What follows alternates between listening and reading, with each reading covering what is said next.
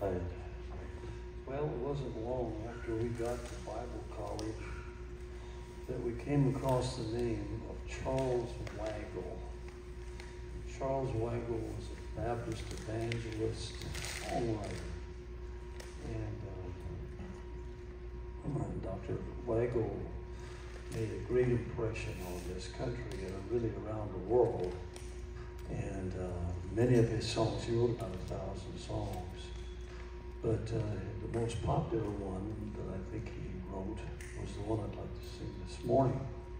And uh, but anyway, uh, it was a blessing to uh, think about what, uh, how the school there had honored him uh, in um, building that building, and many of the choral groups sang and practiced there.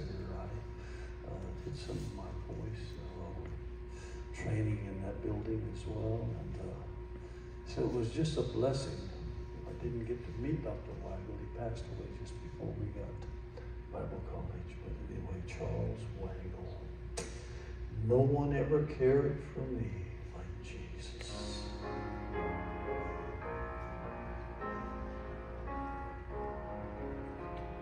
Oh, I would love to tell you what I think of Jesus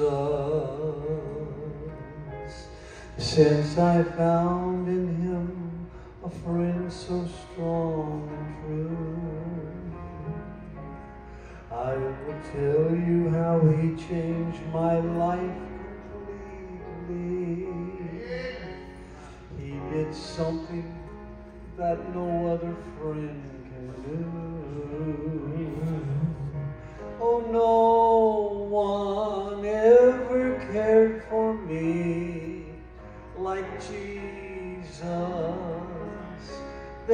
There's no other friend so kind as he. No one else could take the sin and darkness from me.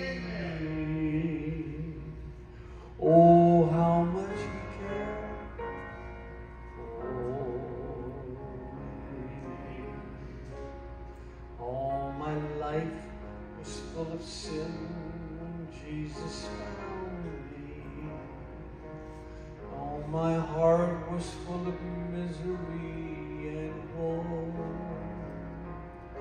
Jesus placed his strong and loving arms around me. And he led me in the place I ought to go. No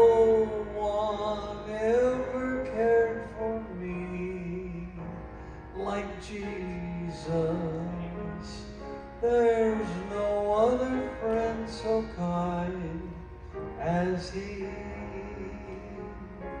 No one else can take the sin and darkness from me. Oh, how much he cared for me. Now, Dr. Weigle went out throughout the country, he preached all over particularly the seaboard and south.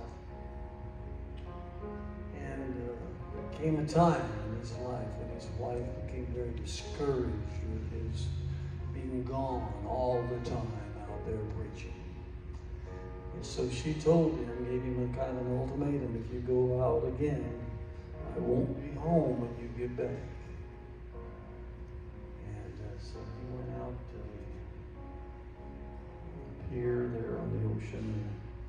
Contemplated taking his own life.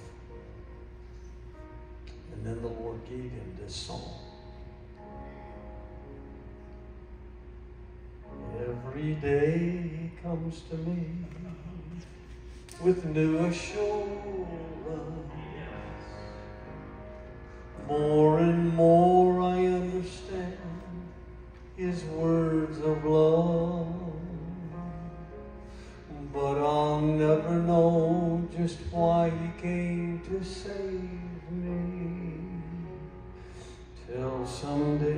I see his blessed face above.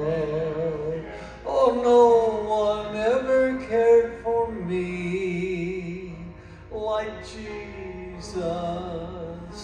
There's no other friend so kind as he. No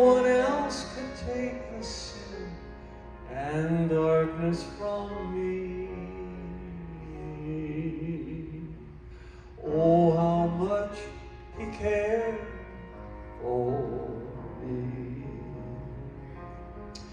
And though